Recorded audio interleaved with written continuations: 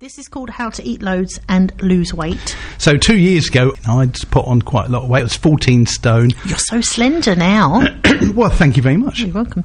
And my partner, Valerie, she um, she declared to me one day that she was going to go on a diet. And I said, well, you don't need to go on a diet. She said, Yeah. well, I want to go on a diet. And then she turned around to me and said, didn't you say that you wanted to lose a little bit of weight as well? No.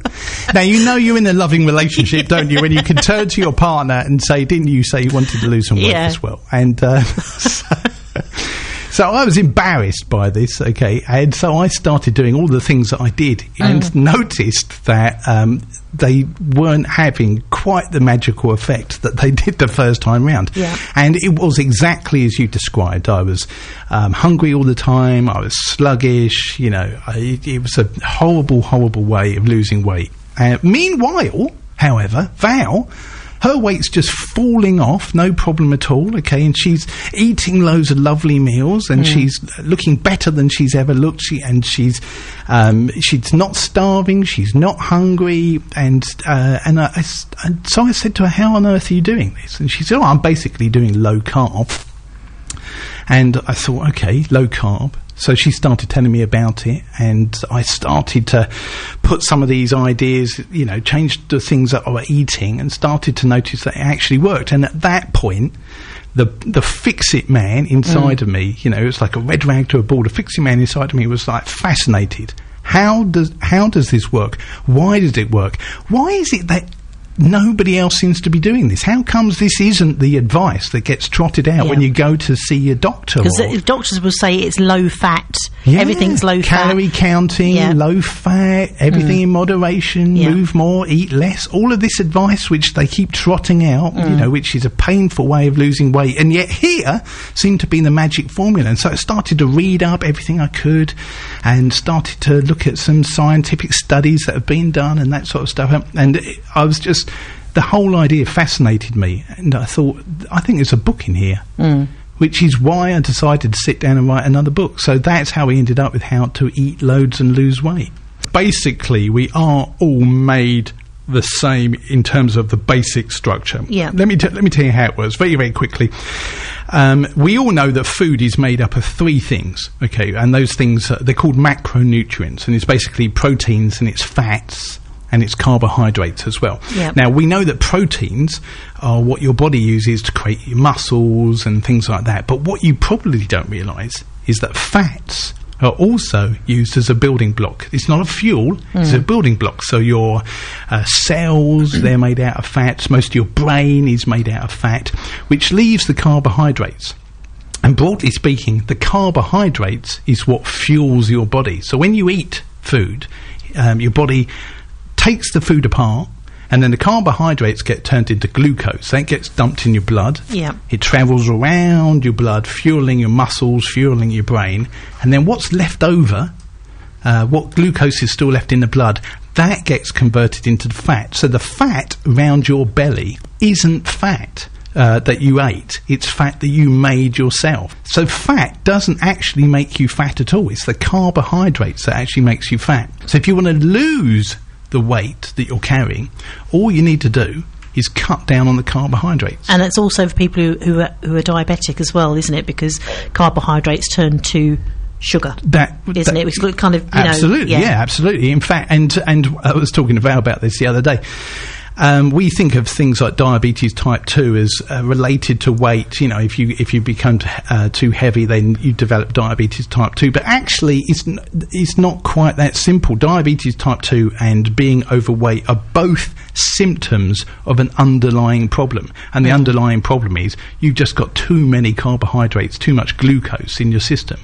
Yeah. And so if you cut down on that, you solve both problems. You lose weight, but you also uh, reverse diabetes type 2. There are some recipes in this book which Lots of recipes. Oh, which I you didn't bring any biscuits in for me, so I'm like looking at like salivating all over the pages.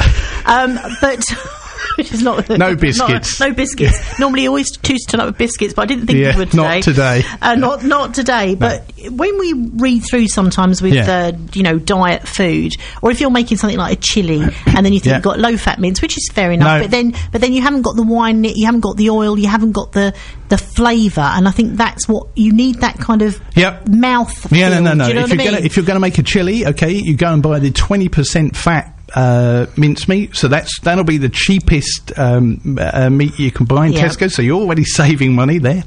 Uh, it'll also be absolutely packed with flavour because it's twenty percent fat. Yeah. And then you can add loads of butter to that, or I, I use ghee. Yep. Uh, the thing that you should steer away from when you're making a chili con carne is the kidney beans. That's the thing that's got all the carbs.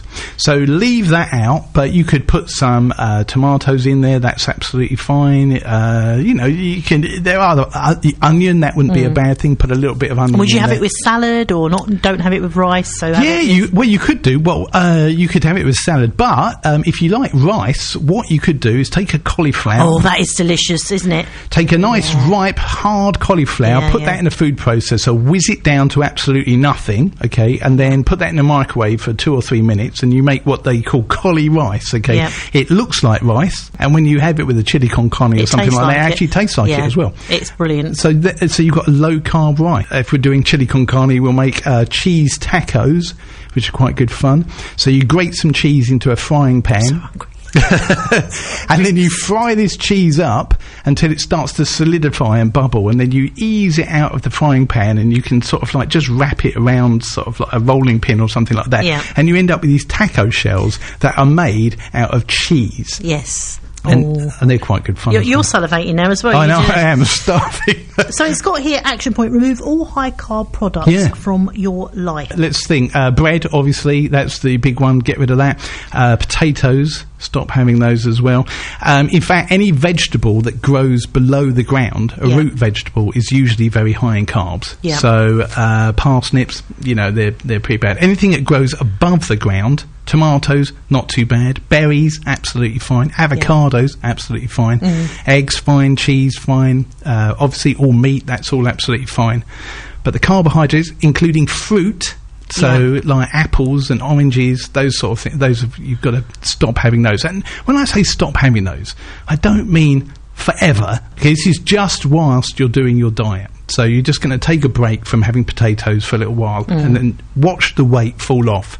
And then when you reach your target weight, you can think about bringing some of those items back in again. Well, a, ke- a keto about. diet, it sounds a bit, uh, what's the word, fad diety, doesn't Mm. it? But all a keto diet is, is um, a very, very low carb diet. So a low carb diet might be anything under um, 100 grams of carbs a day, maybe 50 is a better one to aim for, Yeah. 50 grams of carbs a day. If you're going to go full on keto, then that's around about 20 carbs a day, which is not that many, you know, Yeah. that's, that's really, really low. But the and ironically they have done some uh, research on this. You don't necessarily lose weight faster than a low carb diet but because you haven't got the carbs constantly triggering you and sort of like reminding you of what you're missing it's, it's potentially easier to do once you get into the mindset. Do you have to weigh out food, or is on this diet of yours? some people like to be really strict. You can f- you can download an app, for instance, for your phone for free, which you uh, you type in what you're eating, and it'll tell you how many carbohydrates are in that. But. I prefer to uh, uh, do what they call dirty keto, which is Oh, I say. I know it sounds much more fun, uh, and that's basically where you just uh, avoid the the big hitters, the breads, the potatoes, uh, the fruit, Yeah. those sort of things, and that should get you part of the way. Uh, without having to count a single um, carb, without having to weigh out your food or anything like that. Then, if you find that you're still not losing any weight, that might be the time to start thinking, okay, what am I eating? How many carbs are actually in that uh, that food, and start eliminating those. If you cut down on your carbs, a lot of people Yeah. say that you get like this um, fatigue or your brain fog. No, I disagree with that. Yeah. Uh, I mean, y- y- you. Do we just want something wrong with us because we've cut out bread? We go, oh god, I've got a terrible headache. well, now. no, no. Pe- it's true that people do. Sometimes people do get headaches, and um, they call it. Sometimes they call it keto flu. So there is, uh, whilst your body transitions from going from um, a very hard, a carby environment where it's sort of like you know getting carbs on a three times a day every single day, whilst it transitions from using uh, glucose to power itself into using ketones, which is what your body turns your fat into. There is a, a week or so when you might have brain fog, you might feel a bit dizzy, you might feel a bit tired, and that sort of stuff. But you can. Um, this firstly, it's only temporary. Yeah. And secondly, if you up the amount of water that you're drinking, if you perhaps take a magnesium supplement, if you um, eat a few more pickled vegetables or just drink some pickle juice or something Yeah. like that, you, you're basically suffering from, uh, you've lost some of your uh, minerals. And if you replace those, then those symptoms go away pretty quickly. Yeah. Now, urine. Sorry, I wasn't offering. A, wasn't offering a drink. I wasn't Uh, expecting you to say that. Keto sticks. Yeah. Uh, is this is this something you need when you're doing this eating plan? Uh, okay, well, first of all, let's explain what keto sticks are. Okay. And why I just said the random word urine. Yeah. Uh, why you just why you just said urine? Okay. Uh, th- um, if you you can buy these things um, from your favourite online retailer called Keto Sticks. Okay, and they're basically little plastic strips with a sort of like a bobbly bit on one end, and if you pee on the stick, um, it will change colour if there's ketones in your urine. If it does change, if there are ketones in your urine, it means that basically what was happening is your body has started to use up the stored fat and started to convert those tho- that fat into ketones. Yeah. And the the good thing about this, what I like about keto sticks is that um, for the first time ever, there's here's something you can do which tells you either way whether you're losing weight. You don't have to sort of like st- stand on the scales and you know wait to see a number change. This can tell you instantly whether or not you're actually doing it properly. Yeah. And I, when I started doing this, I found that enormously um, uh, helpful. It, it keeps you going. You Hmm. can pee on a stick in the morning. Yes, I'm still in, uh, still in ketosis. I'm still losing weight. And Yeah. s- so it's a useful thing, but it's not necessary. You don't have to do it at all. So, Yeah. yeah, but it's useful to know. Excellent. Now, if people are going to, so what is a typical day's? Uh, give us a run through of like a typical day of What to eat those and lose weight. Yeah. So, what would you have for breakfast? Oh, you, do you bre- get what- snacks and can you drink coffee and milk? You know. Uh, that's well. These are good questions. Well, let's start with breakfast. Breakfast is uh, one of the good things about being on a low carb diet is that uh, you can pretty much have your fry up in the morning, no problem at all. You can have eggs, you can have bacon, um, but if you haven't got time to do that, you could have avocado. That's that's quite nice. Um, or as I say, just eggs on their own. That, Or omelette and cheese You and can. oh like God, that, yeah, yeah? you could definitely have that. Yeah, an omelette with cheese and some bacon in there. Yeah, you can definitely you can uh, at the weekends what we tend to do is we tend to make a really nice big uh, breakfast which will keep us going Yeah. until early evening so we can skip lunch Yeah. um, lunch lunch in fact is the most challenging meal of all really because most people would have a sandwich Yeah.